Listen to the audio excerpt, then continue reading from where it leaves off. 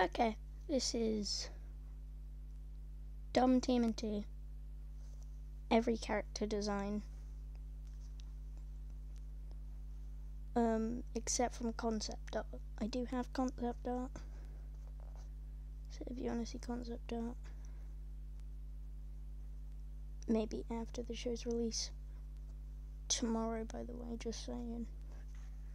Tomorrow, don't know what time I'll release it.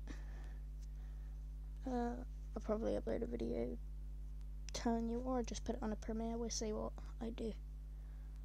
Anyway, without further ado, these are every character in this show.